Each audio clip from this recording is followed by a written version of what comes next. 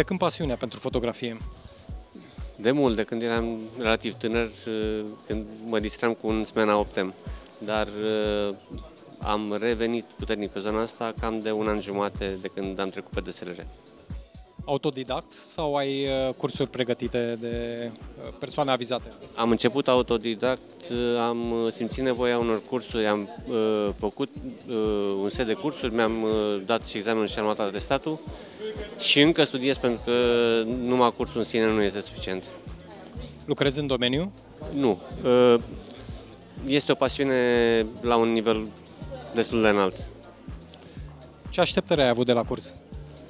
Să învăț ceva, în plus față de ce știam.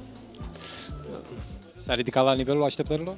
Uh, Pe unele zone, da, uh, uh, anumite elemente pe care nu mă așteptam să le uh, primesc ca informație, uh, n-aș putea spune că le-am primit în mod distinct, dar uh, pe ansamblu uh, este ok. Com, uh, comparat cu așteptările. Deci ai recomanda? Uh, Da, da.